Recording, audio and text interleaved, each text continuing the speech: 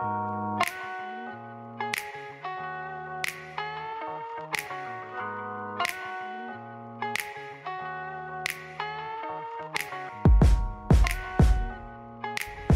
guys, it's Mr. B. Thank you for checking out my video today. I hope you can like, share, and comment. It will really help push this video to other viewers as well. Today I will be showing you how to make an animated dice from scratch in PowerPoint. So we have two examples here. We have uh, the normal dice and the jumping dice, which I will be showing you how to do in another video. But today we are going to make this random dice by clicking on anywhere on the dice. You will get different results. I'll try to walk you through through this video slowly. Um, I had some comment in the other 3D dice video, so I will walk you through it slowly this time. This dice we will work on in a different video, so I hope you can uh, stay tuned for that video as well. But today we are going to master one dice. And once you have mastered making this dice, uh, we can move on to making a more advanced dice like this one. Okay, so today we're going to be only focusing on making this, and I'll walk you through slowly through the process. You can always pause and rewatch the video at any time if uh, my explanation is a little fast, but I'll try to do it slower this time. So let's hit escape and we're going to go to new slide here and choose a blank template here. And I'm just adding a format background. Uh, I'm changing it to black so you can see the dice better. Now we'll jump into shape tools and we're going to choose this one. This is the rounded rectangle shape tool. So click on that and let's draw a shape here any size you want is up to you and we want to make it uh, the same height and width again any height width is okay so let's move this off to the side here maybe here is okay. And now we want to remove the outline. We don't need the outline so remove it. And now let's go into format shape okay? You can right click here and go to format shape. And we are going to add some uh, gradient fill for our dice okay? You can choose whatever you want whatever um, types you want. We're to choose this one radial. And let's choose um, try different uh, different ones here. I think I want this one. So this you want to set to zero. This you want to set to 50% and 100% for the last one. And I'm going to choose a color here. Any color is fine. You can choose whatever color you want. It's really up to you. Uh, generally, I would like to go uh, dark, medium to light. That's how I usually do my, my color shading. So let's go with um, this color here, yellow. And for 50%, let's go with the light green here. And for 100%, let's go with the darker green here. Usually I go light to dark. Now, let's click here, right here. And we want to go to 3D format, top bevel, and we want to choose the first bevel option. For width, it's really up to you. I'm going to put in, um, let's see, maybe let's try 24 first. And for the height, let's just put in 14. You can play around with this. And uh, when you're happy with the bevel, uh, you can uh, just go with that one. For this, I will set it to special. See lighting, I'll choose maybe this one right here for special. Maybe I'll choose this option. And for this one, I'll choose um, the third option here for the material. Let's see, I want this one for special. Again, you can choose whatever you want for your dice. It doesn't have to be like mine, but I'm just going to go with this one. And now we have our uh, the background for our dice. Now we've got to make the little dots for the dice. So let's choose an oval shape here. click that and let's draw a, a circle doesn't have to be perfect so let's put it right in the middle here and make sure it's the same for height and width that looks fine and make sure it's in the middle again and now let's take the outline off here so remove outline no outline and fill it in the shape fill let's just fill in with a solid color. I picked yellow. And now click the background here and this shape right click and go to group. And let's give it a name. In selection pane here.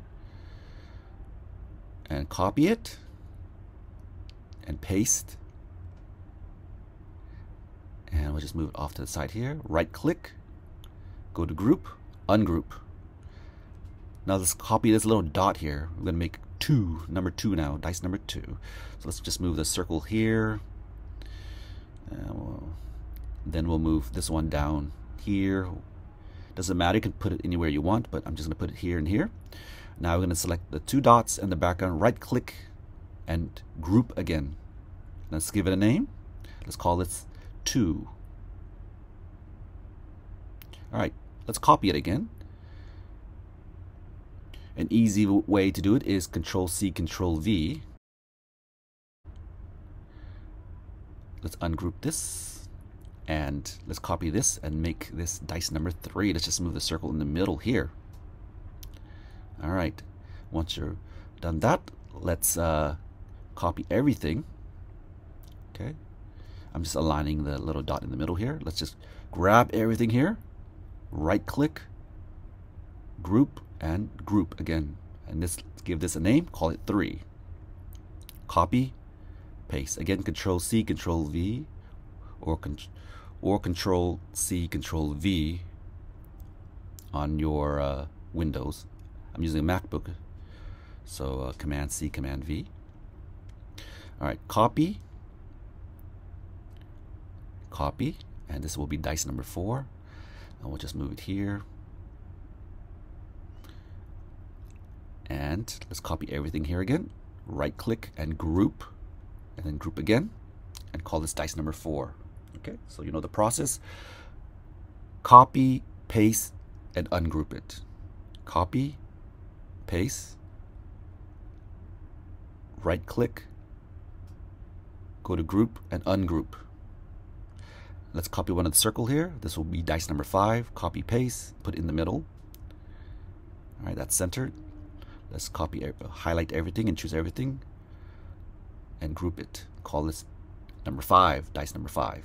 Again, copy paste,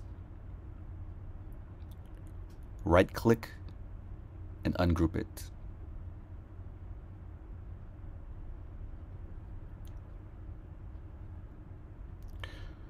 And this will be dice number six. So let's copy this copy and paste. And we'll just move this off to the side here maybe here until it aligns just right. Okay that looks good. Do it again here. And this is dice number six. So let's let's highlight everything here. Right click and group it again. And we'll call this dice number six. All right. So now we've made our dice. Six dices now we need to make some invisible buttons to trigger the animation. So head over the shape again. Let's choose the uh, rectangle tool here. Let's just, just draw a bunch of uh, rectangles here. And uh, let's give, let's just move here, move it over here. Let's see, okay, that looks maybe about there. So these, these will be the triggers for our dice for the animation.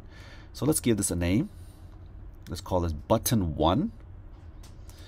And as you notice, I put number one inside the rectangle. So copy paste, and you want to put number two inside here, and we'll call this button number two.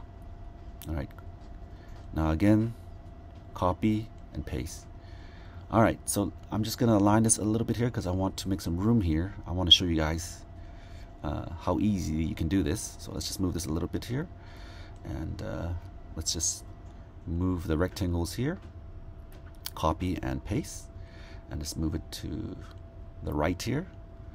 All right, let's put number three inside this rectangle and let's call it button number three here. Again, copy, paste, put a number inside. This will be button number four. Label it button number four here.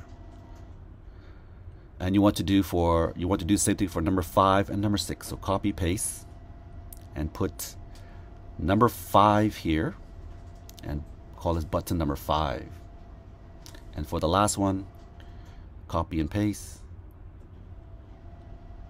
And this will be button number six. And make sure to put number six in here as well. You can make this all invisible later, so don't worry about it. So let's see. Will it fit over our uh, dice? I think so, and you can adjust that later. All right, so let's uh, group everything here and choose animation, spin animation. And we'll open the animation pane. Click on timing. With previous duration, let's put in 0.2 seconds. Okay. All right, so let's do it again. Let's select everything here. And we're going to choose an appear animation, okay? So click on appear animation here. Make it to with previous. And just move this bar down here. And let's just drag this under here like this. So one, one, two, two, three, and three with, so match the animation, okay? All right, now that we uh, match the animation here, we can put it to a trigger those buttons that we made earlier, button 1, button 2, button 3, button 5, button 6. So we want this to be button 1. Pick these two animation. This will be button 2 for trigger. And button 3, click on triggers, go to button 3, and so on for 4, 5, and 6. So you want to do the same thing.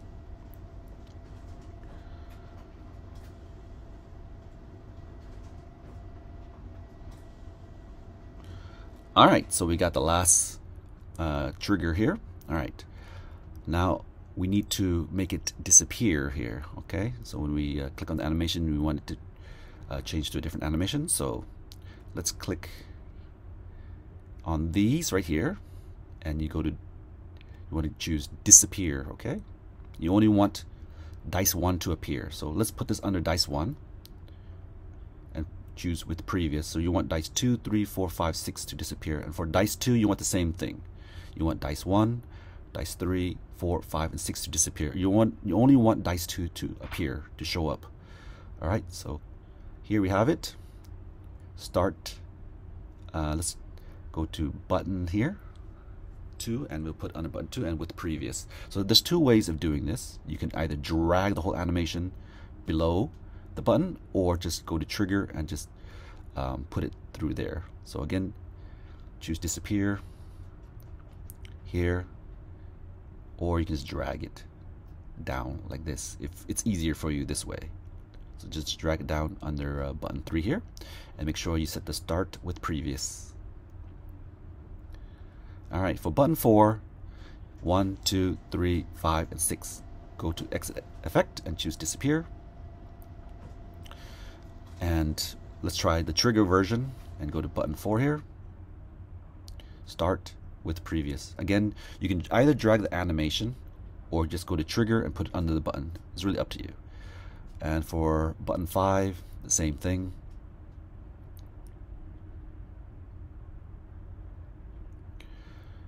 And for 6, you want one, two, three, four, five exit animation, disappear, because you only want dice number 6 to appear.